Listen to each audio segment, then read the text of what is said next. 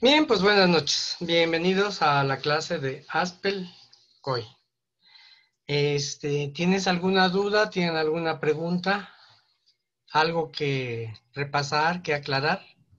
Sí, yo tengo duda este, sobre las tareas. Vi que Ah. son 23, como aproximadamente 23 bloques. ¿Todos se tienen que entregar? Sí, y uno por uno, por separados, no me los Sí. mandes juntos.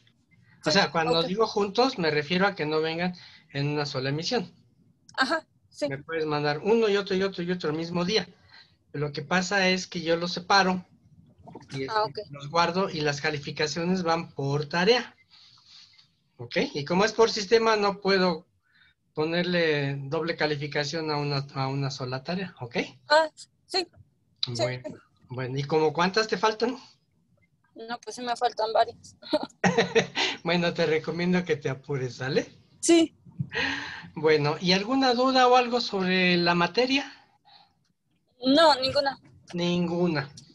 Ok, bueno, pues entonces, sin más preámbulo, pues vamos a empezar, ¿ok? Bien, hoy vamos a ver un punto muy, este, muy que tiene el, el COI. Como ya hemos mencionado a través de todas estas clases, el objetivo del COI es registrar los movimientos financieros de cada empresa. Algunas empresas tienen eh, vendedores que salen al interior de la República a visitar clientes, ¿ok? Hacer promociones, etcétera, etcétera. Esos vendedores, cuando salen, como van de viaje, pues necesitan llevar consigo dinero, ¿ok? Un dinero que, bueno, pues, por razones obvias, el dinero tiene que ser por parte de la empresa, no, no van ellos a aportar su dinero para ir a visitar a un cliente de la empresa, ¿no? Entonces, o si en un momento dado ellos lo aportan, pues la empresa se los tiene que reembolsar. Bueno, el- chiste no es esto precisamente, ¿no? De quién es el dinero, quién lo, de dónde salió, sino el chiste es que esto de llevar este, este dinero que se llaman viáticos, ¿verdad? ¿Por qué? Porque en algunas ocasiones los vendedores tienen que pagar este, gasolina, pasajes, alimentos y a veces en ocasiones hasta hospedaje. En todos estos casos, esto se trata o se maneja como gastos, ¿sí? Son gastos de la empresa.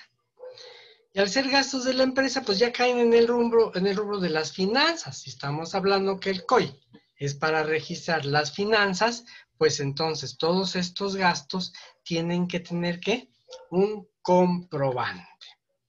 ¿Ok? Pero un comprobante fiscal, no un papelito que diga nota de venta, ¿verdad? Y, y este, comida en una lonchería y 75 pesos y ya no. Recordemos que todo lo que se maneja como finanzas dentro de una empresa debe de tener un apoyo fiscal. Y ese apoyo fiscal única y exclusivamente puede ser en base a qué? En base a un XML, un CFDI. La clase pasada vimos que el CFDI, eh, que a través de, de la historia o a través del tiempo que se generó allá por 2014, 2010, este, el, control de las ventas, pues sirvió para controlar todo. ¿sí? Y ya hablamos incluso de, de los diferentes tipos de CFDI, ¿ok? Y los documentos con los cuales se generan. Entonces, básicamente los gastos, pues son facturas. ¿Ok? Entonces, la factura, que fue la que inició todo este relajo del CFDI, como ya lo, lo vimos en una clase, este, es un documento electrónico y que genera un CFDI. Y entonces ese CFDI es un comprobante fiscal, es el que se debe de registrar en el COI. Bien, entonces ahora, ¿cómo funciona esto? Por si alguno de ustedes no lo, no lo conoce. Eh, la empresa, pues le tiene que dar a su empleado que va a viajar, le tiene que dar cierta cantidad para cubrir esos gastos. Pero hoy en día, lo más apropiado, lo normal y lo que se estila hacer ya no es manejar dinero en efectivo, pues por el riesgo que se corre, ¿no? De los robos, asaltos, etcétera, etcétera. Entonces, hoy en día se manejan que el plástico, exactamente las tarjetas, tarjetas de crédito, tarjetas de débito. Existe una empresa aliada, socio de Aspel, que se llama Edenred, así. Edenred, como Eden, ya me lleva, y luego Red, ¿no? La red del Eden. sí, Edenred. Esta empresa a lo que se dedica es a manejar tarjetas de débito para las empresas y que estas tarjetas de débito, se le entreguen a sus empleados en lugar de darles el dinero en efectivo. Entonces, se les da una tarjeta de débito con un monto límite para utilizar. ¿Ok? Entonces, eh, eh, los, los, empleados, los trabajadores, los vendedores, las personas que necesitan esto, salen de viaje, entonces pagan con esa tarjeta. bueno, pues antes de existiera este tipo de empresas, las empresas sacaban tarjetas de débito o tarjetas de crédito empresariales en los bancos. ¿Sí? Y sí, sí las existían, sí existían. Ajá. Pero como que la situación no era muy controlable para la hora de checar los gastos. Entonces estas empresas como la de Edenred diseñaron sistemas en los cuales las tarjetas, al momento de ser utilizadas, generan automáticamente el CFDI. Así como lo oyen. Se genera el CFDI y esa información va a parar a quién? A la empresa. A la empresa que está aportando el, el este, ¿cómo se llama? Que, que está aportando al, el gasto para el trabajador. ¿sí? Eh, permítanme un segundito.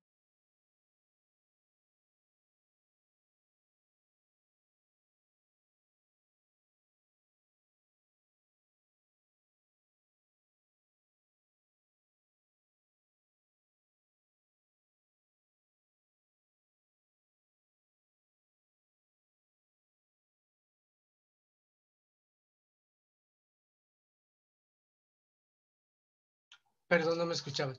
Esas tarjetas sirven para que el empleado haga el gasto. Entonces, el sistema de Edenred genera los movimientos fiscales necesarios para generar el CFDI y va guardando esta información durante el lapso que se le determina a, a, la misma tarjeta, porque estas tarjetas son tarjetas, vamos a decir, tarjetas inteligentes, por decir algo, hoy que está de moda las casas inteligentes, ¿no? Una tarjeta inteligente, ¿por qué? Porque con esas tarjetas se puede hacer lo que no se puede hacer con las tarjetas de crédito de débito. Estas tarjetas se pueden programar para que únicamente puedan ser utilizadas en ciertos días, en ciertas fechas, en ciertos horarios y hasta en ciertos lugares, ¿ok? Con topes, topes eh, de monto para utilizar. Es decir, si la tarjeta es por 10 mil pesos, no puede llegar un empleado y gastarse los 10 mil pesos, boom, de golpe, y que diga, me los gasté en una comida. No, están controladas, están, digamos, programadas para todo ese tipo de gastos. ¿Ok?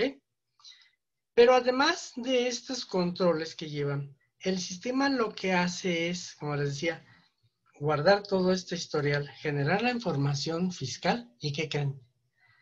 Edenred tiene un convenio con Aspel y entonces hay una liga entre los sistemas de Edenred y los sistemas de Aspel con el sistema de Aspel COI. Y Edenred con sus sistemas lo que hace con estas situaciones es enviar al COI de la empresa la información de los gastos, evitando que, o más bien no evitando, sino ayudando a la empresa, ayudando a, al empleado a presentar, por así decirlo, su reporte de gastos. Porque cuando estas cosas no existen, los, los empleados que estaban, están bajo esta situación tienen que regresar a la empresa y decir, bueno, ya regresé, fue una semana de viaje y aquí están los comprobantes de mis gastos. ¿Sí? Pero luego vienen los problemas de que había notas en lugar de facturas y pues esas no son válidas, ¿verdad? O en ciertos lugares le decían, bueno, pues yo te doy una nota y tú saca tu factura en, en el portal y lo sacas por internet. Y luego se les olvidaba sacar la factura o se les pasaba la fecha, pasaban de un mes a otro, ya no podían obtener la, el CFDI y había ciertas mm, cosas que impedían que se hiciera el reporte exacto y completo de los gastos. Sin embargo, con esta tarjeta de Edenred, como todo es en línea en el momento que se hace, y entonces el control lo tiene la empresa, la empresa puede conectarse a los sistemas de Edenred. Obviamente, tiene que tener una, inscripción y este, ser miembro, etcétera, y pagar una cuota, etcétera, y todo esto. Y entonces tiene con qué conectarse y entonces descargar en los sistemas de COI toda esa información que se genera para que se hagan las pólizas, así como lo oyen ustedes, ¿ok? Se descarga esa información, ¿ok? Entonces, pues es una idea bastante buena en estos días en que todo se está haciendo ya automático, ¿verdad? Eh, este, pues ya que lo único que restaría a un empleado que regresa de, un viaje o algo es que aquellos eh, gastos que realmente no tienen un justificante fiscal, pues son los únicos que quedarían pendientes de poder comprobar, ¿verdad? Y ya, pero créanme que son los mínimos y esto pues me parece a mí una cuestión muy, muy, muy importante por la ayuda que presta a las empresas. Entonces, vamos a ver en el COI dónde está ese enlace, esa liga que nos va a proporcionar esta información de esta empresa llamada Edenred, ¿ok? Para bajar la información, ¿sí? Vamos a cambiarnos de pantalla.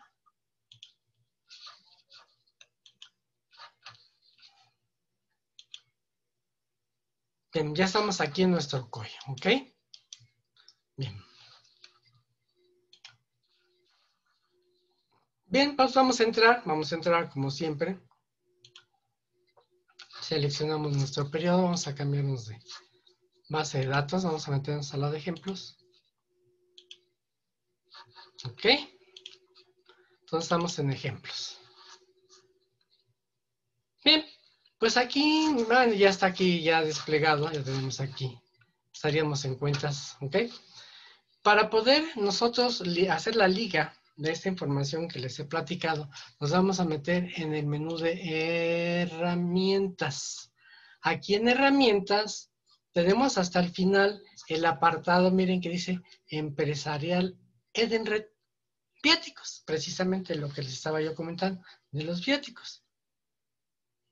Rubicelia, buenas noches. Bienvenida. Gracias, perdón, profesor, gracias. Ay, cuidado, hija.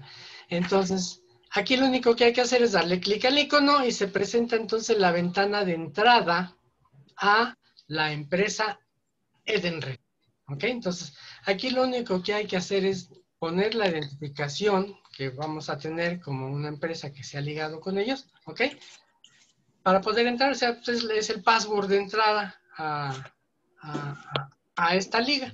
Entonces le damos a aceptar. Aquí obviamente no me va a permitir, pues porque no, no tenemos ninguna liga, ¿sí? Que, que podamos utilizar. Pero al darle a aceptar, entonces ya van a aparecer las ventanas, o la ventana, mejor dicho, de la empresa Edenred, donde ustedes ya pueden descargar y pueden ver, pueden filtrar, pueden este, manejar todas las tarjetas que ustedes hayan adquirido para sus empleados. ¿Por qué digo las tarjetas? Porque se saca una tarjeta por persona. Puedes sacar una tarjeta por persona. Y a través de este portal de Edenred, la empresa puede incluso mm, este, cargarle más, más este, dinero a la tarjeta. Puede suceder que el empleado, pues, ya se acabó el, monto que se le había asignado, se comunica a la empresa le dice, oye, ¿sabes que ya me quedé sin lana? No, y pues ponme más dinero en la tarjeta, ¿no? Entonces, eh, Edenred no es el que pone el dinero. El que pone el dinero es la empresa que está enviando al trabajador, pero a través del portal de Edenred. Entonces ahí lo que hace es manejar y ponerle más dinero a esas tarjetas, ajá, o cambiar las restricciones y cambiar los horarios, o sea, en una palabra, a través de este portal, la empresa tiene el control total de todas las tarjetas que haya adquirido o haya contratado para sus empleados. ¿Ok? El uso de ese portal, bueno, pues se, les da un curso especial a la empresa porque obviamente esto tiene que hacerlo pues, un personal autorizado, no se le va a dejar a los empleados, ¿no? Es un personal autorizado un administrador que se encarga de llevar el control de todos estos gastos, de llevar el control de, recibir y bajar la información para pegarla, bajarla al COI y tenerla en forma automática. ¿Ok? Pues está padre, ¿no? Esto no, no, no hay muchas empresas que se dediquen a esto. Entonces, Edenred es filial, es socio de Aspel. ¿De acuerdo? ¿Alguna duda, alguna pregunta de esto? Bien. Bueno, pues ya hemos hablado de toda la información que se tiene que capturar aquí y quedamos en que se hace por periodos, mes a mes. ¿Ok? Luego sucede que en cierto momento, a la hora de estar revisando, hacer capturando, estamos empezando la captura de un periodo, nos damos cuenta que la regamos y que a lo mejor nos agarramos los movimientos de otro mes y no eran los del mes que correspondían. Decimos, híjole, ya la regué, ¿no? Ya empecé a meter este, pólizas que no eran, no eran las que correspondían a este periodo.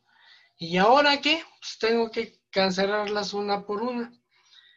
Bueno, esa sería una forma de hacerla, ¿no? Irlas cancelando una por una. Pues si son muchos, pues como que hay que, hay que pensarlo, ¿verdad? Pero aparte de eso, recordemos una cosa. Cuando se cancela una póliza, ¿qué sucede? Se pierde el folio, ¿se acuerdan? se borra la, desaparece, mejor dicho, la póliza, pero el folio que se ocupó para esa póliza sí quedó utilizado. ¿Ok? Sin embargo, aquí en el sistema y precisamente en este menú de herramientas, tenemos este apartado aquí en contabilizar que dice borrado de movimientos. ¿Ok? Está junto al de contabilización. ¿Se acuerdan para qué sirve este, este comando?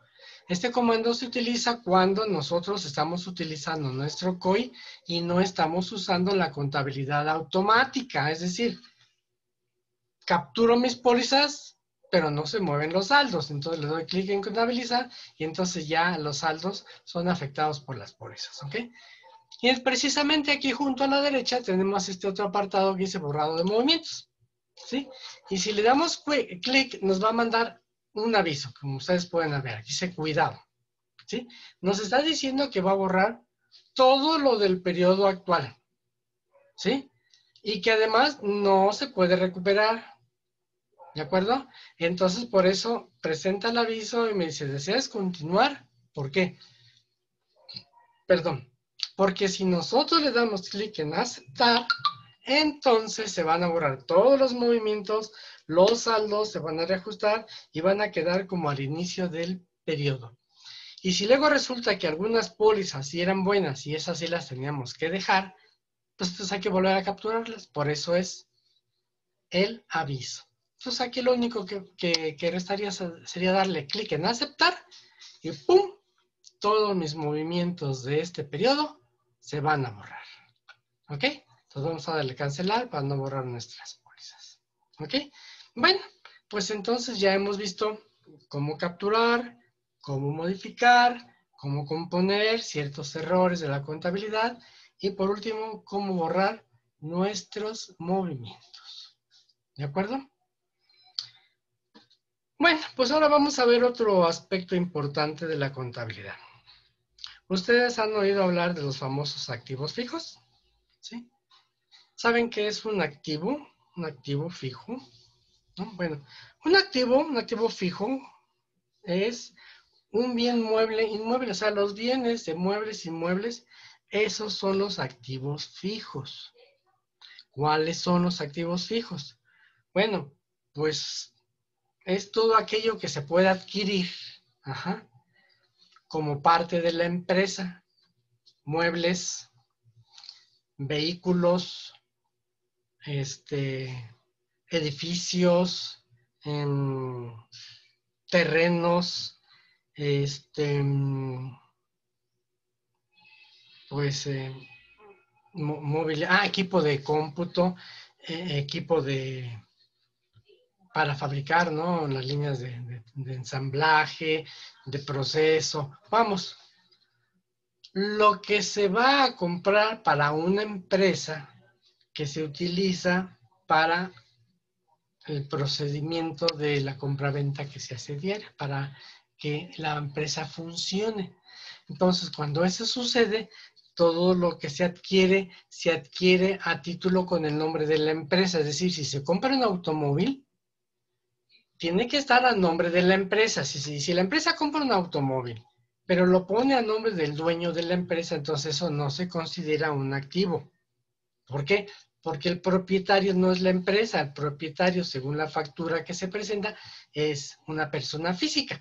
Entonces, para que se considere un activo de la empresa, la compra tiene que ser precisamente a nombre de la empresa. ¿Ok? Y este activo, que, ¿para qué sirve? Bueno, ya les dije, ¿no? Pues sirve para que funcione la empresa y, haga sus operaciones, ¿no? Y los activos, bueno, pues con los activos tenemos que hacer ciertos pasos, ¿no? Estos activos, pues, primero son cuatro pasos. Primero hay que darlos de alta, ¿sí? El activo. Después hay que dar de alta como el tipo de gastos que a, cual nos pueda generar, porque todas estas cosas pueden generar gastos. Ustedes dirían, ay, ¿a poco? Bueno, un carro, pues sí, es, obvio y lógico, ¿verdad? Que nos genera gastos porque las reparaciones mecánicas, este, estar pagando la, la tenencia, las verificadas, etcétera. Dice, pero, ¿y el mobiliario? Bueno, pues quizás el mobiliario no nos genera gastos, pero a lo mejor estamos contratando una empresa de servicios de limpieza que se dedique a, limpiar el edificio y entonces ya ya, pues ya tenemos gastos en el edificio y por ende pues tenemos, podemos tener gastos con los muebles, etcétera. ¿Ok? Otro punto que se maneja con los activos es la famosa depreciación. ¿Ok? ¿Qué cosa es una depreciación? Bueno, miren, dentro de, los bienes inmuebles, dependiendo del tipo de, activo que tengamos, se le llama depreciación cuando los productos que obtuvimos, los que compramos, van perdiendo valor. Por ejemplo, los coches, ustedes lo saben muy bien. Compramos un carro hoy, modelo este, ¿cómo se llama? de este año, y para el próximo año ya vale menos. ¿Sí? ¿Por qué? Porque sufrió una depreciación, o sea, disminuyó su valor, empezando por el impuesto, ¿no? Si ustedes lo quieren, cuando compramos un carro se pagan varios impuestos, ¿no? Se paga el impuesto del IVA y el de lujo. Y cuando lo vendemos, pues no podemos cobrar el, IVA ni el impuesto de lujo ni nada de eso, ¿no? Entonces de ahí de, de entrada, ¡pum! Ya de un trancazo grande pierde valor. Es más, un ejemplo que a lo mejor no me lo creen. Ustedes compran un auto Nuevecito van a la agencia, se suben, lo arrancan, se salen de la agencia, le dan la vuelta a la manzana, regresan a la misma agencia para ofrecerse lo que se los compre y la agencia posiblemente se los compre, pero ya no al mismo valor que se los vendió. Porque en el momento en que ya salió la venta, en ese momento ya sufrió una depreciación por los impuestos. ¿Ok? Por otro lado, tenemos otro tipo de activos que en lugar de sufrir una depreciación, tienen una plusvalía. Por ejemplo, las casas, los terrenos, ¿sí? Ustedes saben que una casa, un terreno, este, en lugar de perder valor, adquieren un mayor valor.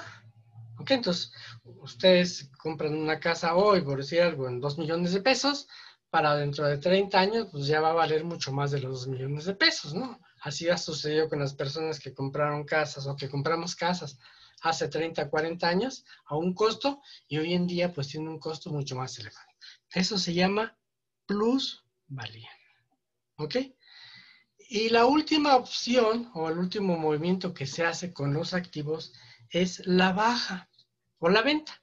Cuando tenemos un, un activo para darlo de bajas porque lo estamos vendiendo, ¿ok? A menos que sea un mueble que ya se echó a perder y todo, entonces este, se da de baja por, porque ya no sirve, ya hay que deshacerse de él, ¿no?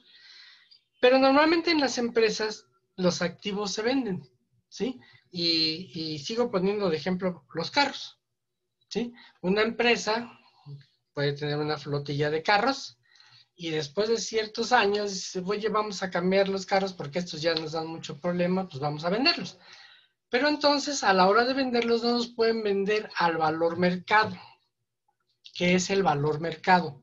El valor mercado es el costo que tienen esos artículos en el medio.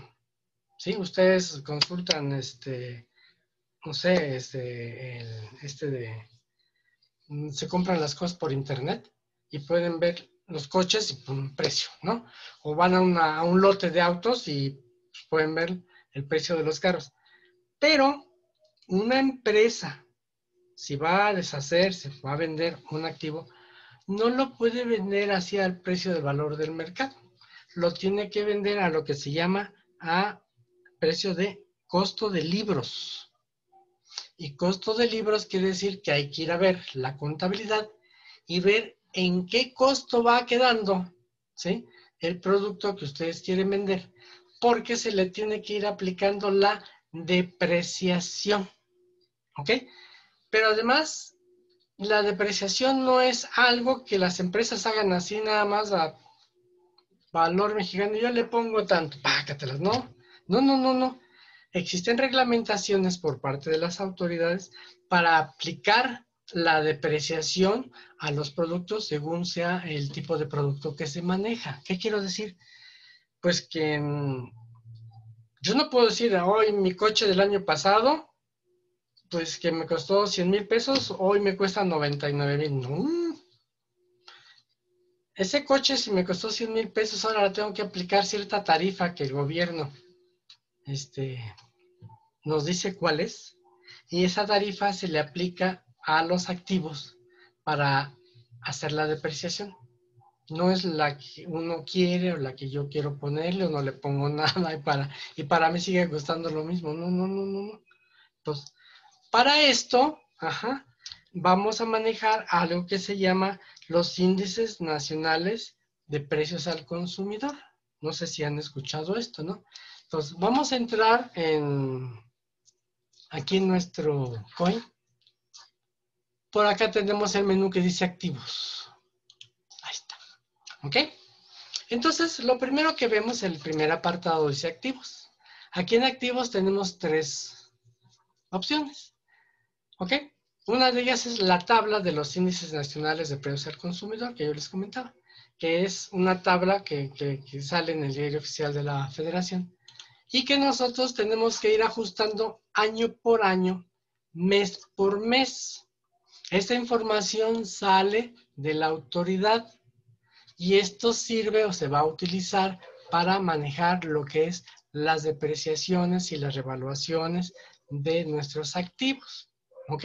Entonces aquí, como ustedes pueden observar, se van colocando los años, se van colocando los años, aquí se quedó hasta el 20, 2020, ¿ok? Y después aquí se van anotando esos índices que salen en el diario oficial, ¿ok? Eh, COIN nos da una ayudadita. Aquí ustedes pueden ver ese botón que dice FTP. FTP son las siglas que utilizamos dentro de la computación para saber que nos vamos a conectar por internet a una computadora, a un servicio, ¿ok? Donde nos van a proporcionar información, que podemos nosotros tomar información. Entonces, nosotros le indicamos el año que queremos nosotros manipular, le damos clic al botón de FTP para que la máquina nos actualice. Miren, dice aquí que ya me actualizó la información de los índices nacionales. Le doy a aceptar y ya cambiaron acá. ¿Ok? Los que estaban disponibles. Ya me lo dejó hasta el año 2023 y nada más hasta el mes de mayo. Los demás están en ceros porque aún no están disponibles. Pero todos los demás años, miren, ya me puso los índices porque ese botoncito para eso fue. ¿Ok? Para que automáticamente me pusiera los índices y no andar preguntando, oye, ¿dónde está? Necesito un prontuario del diario oficial para ver eh, los índices y, leerlos y escribirlos, porque se puede escribir, aquí se puede poner a mano. ¿Sí? Aquí se puede escribir a mano. ¿Ok? Bien. Pero repito, entonces, este botón nos va a ayudar a que se actualice de forma automática. ¿De acuerdo? Pues esto es lo primero que hay que hacer. ¿Ok? Bien. Eh, ahora, ¿qué hay que hacer inmediatamente después de esto? Bueno, lo primero que hay que hacer después de los índices es dar de alta los diferentes tipos de activos que podemos manejar. ¿Por qué? Porque hay distintos tipos. Entonces, aquí vamos a darle clic donde dice tipos de activos. Y aquí está, entonces, una especie de tablita donde nosotros vamos a decir, bueno, mira, hay equipo de oficina, que es un activo. Eh, a propósito de esto de equipo de oficina, no sé si ustedes se han fijado, por ejemplo, en la escuela o en las empresas, si trabajan en su empresa donde trabajan y quizás hayan notado una cosa muy peculiar en los muebles, que tienen anotados unos números. ¿sí? Esos números son los números del inventario del activo fijo. Ajá, ¿sí?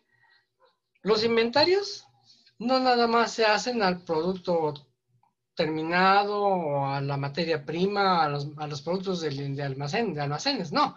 Los inventarios también se hacen al activo. ¿Para qué? Pues para ver, si compramos 20 sillas, pues tiene que haber 20 sillas, ¿no? Si compramos 5 camiones, pues tienen que estar los 5 camiones y así por el estilo, ¿no? Entonces, también se hacen los inventarios a los activos. ¿Ok? Bueno, entonces, aquí tenemos equipo de oficina, ¿ok? Y tenemos aquí que proporcionar cierta información, que esa información es la que viene precisamente de la cuestión que yo les comentaba, de que la autoridad es el que fija o el que determina los parámetros para hacer las depreciaciones. ¿Ok? Y entonces esta información hay que solicitarla, hay que pedírsela al contador o a la persona adecuada que nos dé esta información para poder con, este, con ella venir a capturarla. ¿Ok? Entonces, aquí ustedes pueden ver primero la descripción del tipo de, activo que, que, queremos nosotros manejar y luego los parámetros que se van a utilizar en general para este tipo de activos. ¿Ok? Y luego aquí abajo, ¿qué tenemos? Bueno, quedamos que esto todo va contabilizado. ¿Por porque todos estos objetos, por así decirle, eh, todos estos activos tienen un costo, tienen un valor, significan dinero para la empresa, vamos. ¿Qué, qué, qué pasa cuando ustedes, por ejemplo, quieren rentar una casa?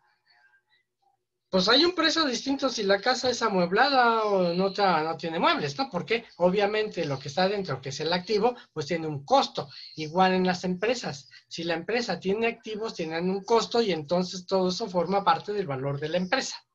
¿Ok? Y aquí es donde nosotros vamos a definirle, vamos a decirle cuáles son los parámetros que se van a utilizar para esa depreciación, pero también tiene que estar en dónde? En una cuenta contable porque la contabilidad dice que es llevar el control financiero o el control de las finanzas de lo que se mueve en la empresa. Entonces tiene que haber una cuenta en el catálogo para el equipo de oficina. ¿Sí? ¿Y, dónde, y, cuál está? Pues aquí buscamos en el catálogo y aquí se ve equipo de oficina. ¿sí? Voy a salir tantito de aquí para ver nuestro catálogo. Bueno, aquí está. Aquí está nuestro catálogo, ¿ok? Y ahora, ¿cómo vamos a saber cuáles son las cuentas del activo fijo? Ah, pues muy fácil. Para eso vamos a recurrir a los rubros. Y los rubros, como ya habíamos comentado en cierta ocasión, sirven para qué? Para informarle al COI cuál es el grupo de cuentas de acuerdo al rubro que queremos manejar. Entonces aquí me dice que el activo, ¿dónde estás? El activo fijo, acá está. Activos fijos tengo 15 cuentas, ¿ok? Y entonces ya podemos ver aquí, ¿ok? Que tengo la 1310, ajá, que dice que son propiedades de planta y equipo, ¿ok? Dentro de estas propiedades, que son los bienes inmuebles que yo les he comentado, tenemos terrenos, edificios, equipo de transporte, equipo de cómputo, equipo de oficina y equipo de, de fábrica. ¿Sí? Ahora, que esas cuentas estén aquí no quiere decir que todos debemos de tenerla. Estas cuentas van a ser, como ya lo hemos mencionado muchas veces, dependiendo al giro y cada una de las empresas. A, la, a, ese equipo de fábrica, pues por ejemplo, yo nunca lo voy a tener. ¿Por qué? Porque yo no fabrico. ¿Sí? Mi empresa es de servicio. ¿Ok? Pero en cambio, una empresa que se dedica a fabricar, no sé, fabrica sillas, fabrica mesas, fabrica coches, lo que sea, pues necesita equipo de fábrica. ¿Y cuál es el equipo de fábrica? Pues los que están en la línea de producción, ¿sí? Cortadoras, este, robots que arman, soldadoras, todo eso, ¿ok? Y luego tenemos aquí algo que les estoy comentando, la cuenta con la que se maneja la depreciación. Pero pues están separadas las cuentas de la depreciación por cada uno de estos distintos este, activos que están arriba. Y si ustedes se dan cuenta, ¿ok? Tenemos eh, depreciación de todos menos de unos. ¿Qué, ¿Cuál es? El de los terrenos. Ajá. Los terrenos normalmente no sufren depreciación, ¿ok? Pero en caso de lo que llevaran, pues se abre la cuenta y eso es todo. Y estas cuentas son las que se van a utilizar aquí a la hora de dar de alta el tipo de, activo. Y aquí dice cuál es la cuenta, la cuenta de mayor del activo que estás dando de alta, cuál es la cuenta de los gastos que va a generar, aquí está, que es otra cuenta. Ajá. ¿Cuál es la cuenta de la depreciación de estos activos? Y aquí la tenemos también. Ajá. Y por último, ¿cuál es la cuenta que vamos a utilizar cuando ya nos vamos a deshacer de ese activo? Ajá. Ahí está. ¿Ok? Los números, insisto, no tienen que ser los mismos para todo mundo. El catálogo, insisto y nuevamente lo repito, es particularmente eh, para, para cada uno de nosotros de acuerdo a nuestras necesidades no tiene por qué ser idéntico a otro. No. ¿Ok? Algunas cuentas eran las mismas cuentas desde el punto de vista descripción, pero no tienen que ser los mismos números.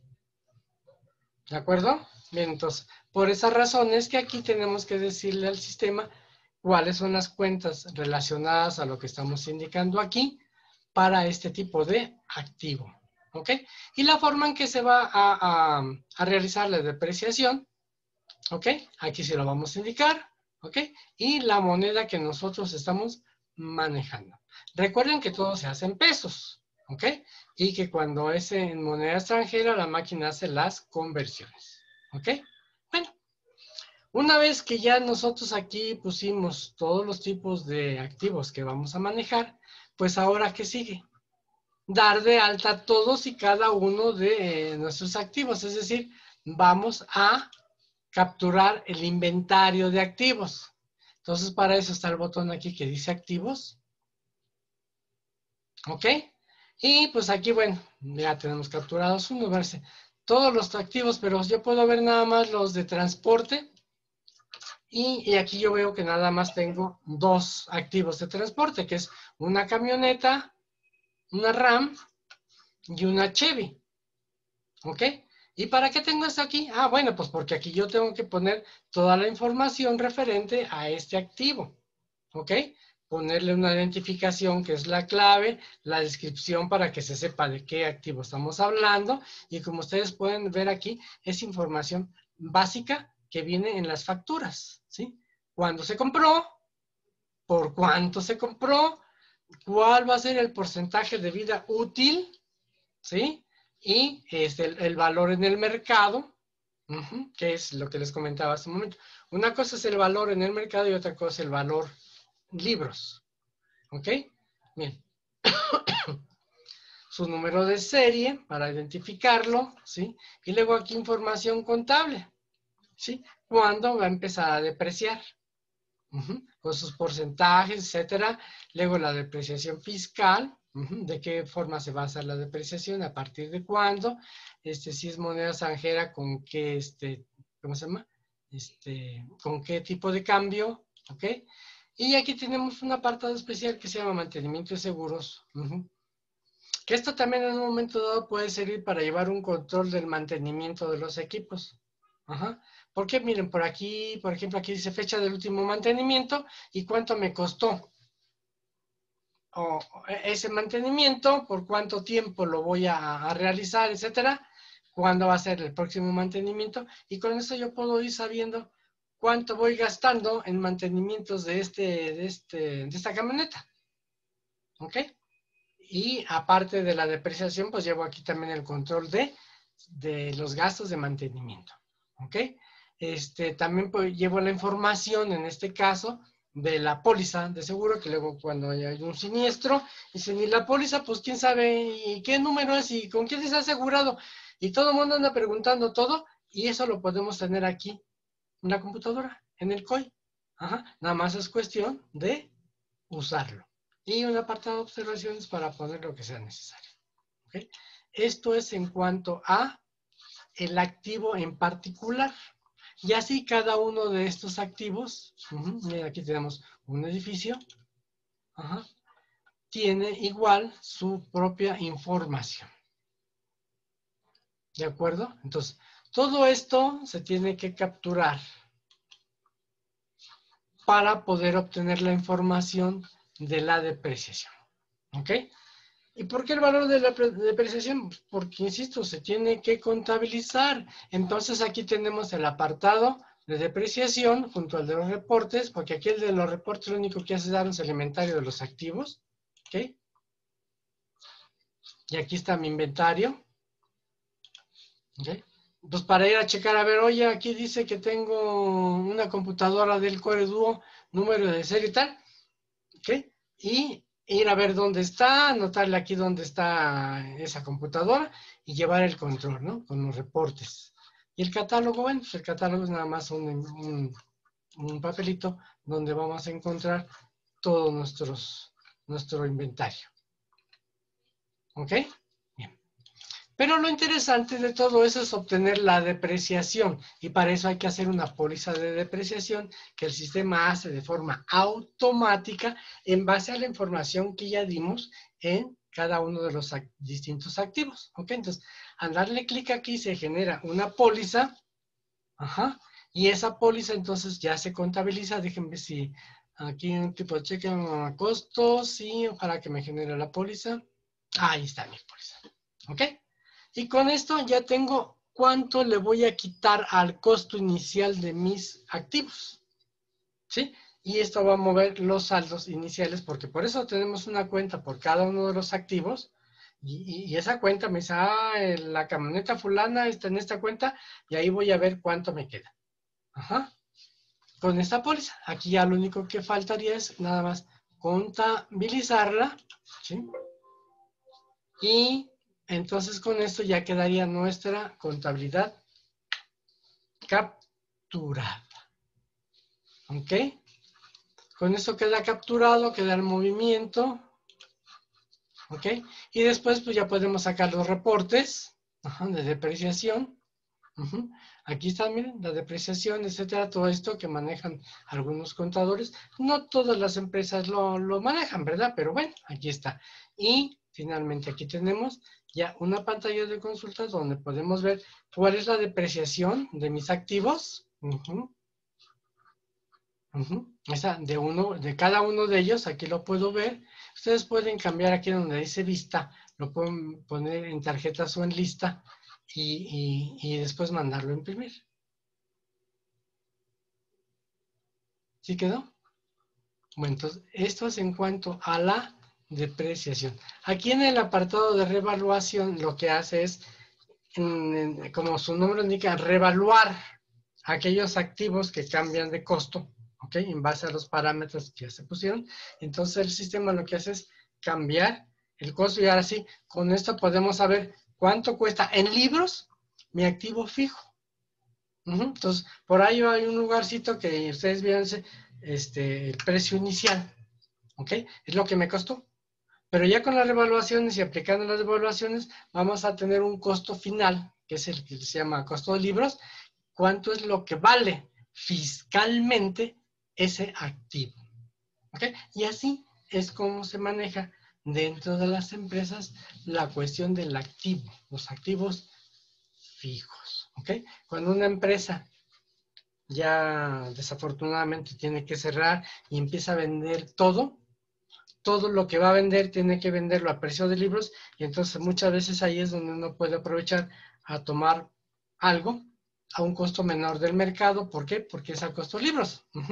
Y luego por eso es que ustedes ven que ese tipo de situaciones de ventas así son rapidísimas y la gente aprovecha y vuelan las cosas. ¿Por qué? Porque se venden más baratas de lo que se, se manifiesta en la calle, por así decirlo. ¿De acuerdo? Bien. ¿Alguna duda? ¿Alguna pregunta? No, prof, todo está muy claro. Todo está muy claro. Muy bien. Bueno, chicas, pues que pasen buenas noches. Es todo por hoy. Recuerden que ya la próxima clase es la última. No dejen sus tareas para última hora porque si no se les van a amontonar y luego van a las carreras. ¿Ok? Sí, maestro. Cuídense mucho. Buenas noches. Gracias, buenas noches. Buenas noches, hasta luego. Hasta luego.